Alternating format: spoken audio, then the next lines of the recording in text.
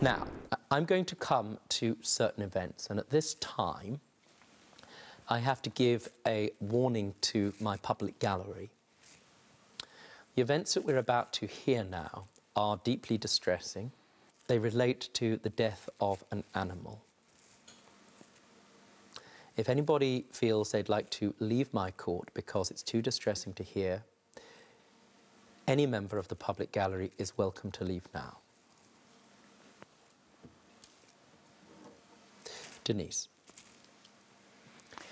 You're on holiday. Things are okay between the 5th and the 7th. You've no reason to believe that there was a problem. Well, on the um, 8th of February, I hadn't heard anything from David at all. And I remember texting at something like 20 past three in the afternoon, Barbados time, to say, is everything okay? I couldn't settle. I just couldn't settle because I hadn't heard anything.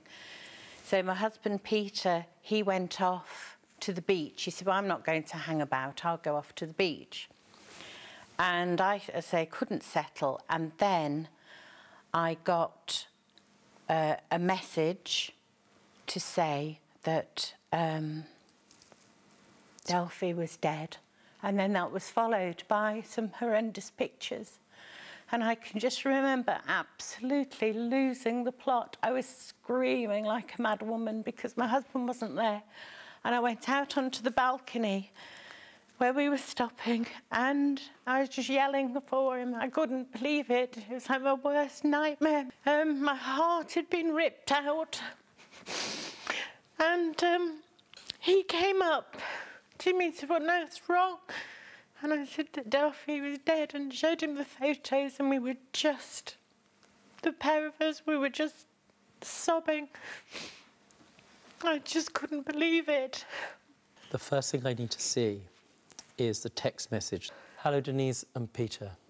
Oh my God, I'm sorry to have to tell you this. We left at 11 a.m. to visit Manchester. We got caught in traffic coming home and got back at 4.30, that's 16.30 find Delphi dead on the kitchen floor. Maria still twisted her collar in her jaw. They'd obviously had a fight, and Delphi's body was already stiff and cold. Maria is looking mortified. We are truly sorry to have to give you this dreadful news.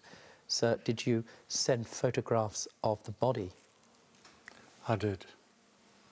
I sent photographs of the scene we encountered on our return to the home. You received post-mortem results from the vet on the 13th of February, very soon after the incident. That stated that the reason that the dog had been killed was as a result of a broken bone in the neck of the dog. Yes, Judge. Was the vet, I want to be clear, was the vet able to give any other indication of how it happened? Other than to say that the dog's neck was broken? Not as such, um, sir. He just said it could have been caused by overboisterous play, um, but he said he couldn't substantiate anything. The term of the contract that we hold to be effective to us as a consumer is that the promise that our home and of course our dogs will not be left any longer than four hours. Thank you very much. You are referring to section 22 of the agreement of which you agreed to. House sitter and home sitters as a subcontractor are not as an employee, brackets, as a house sitter, not being absent from the home of the homeowner client for more than four hours. Sir, the evidence provided by Denise shows that on the fifth you were out for four hours, and on the eighth you were out for in excess of six hours. Yes. Do you accept that that's a breach of Section 22 of your agreement, sir? No, I do not, Judge. Why not? Because Clause 22 is relevant to the house sitters. It's contractual between the house sitter and house and home sitters. It is not contractual between the homeowner client and house and home sitters. I do not understand that submission at all.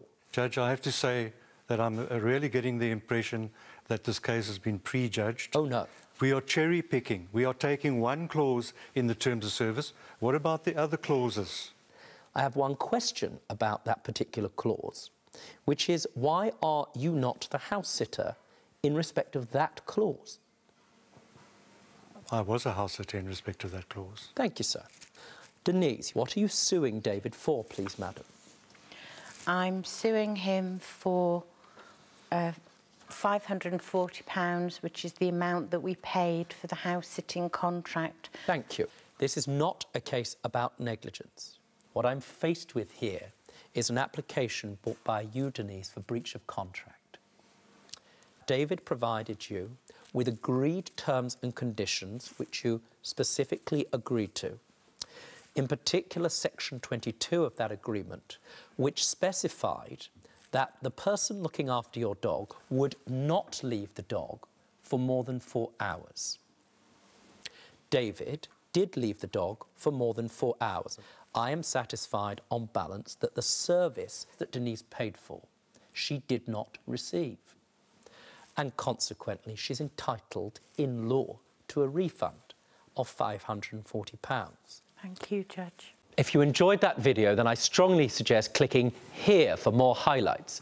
For those of you who haven't subscribed yet, and why not, so that you never miss out, subscribe. Clicking down there, that's an order.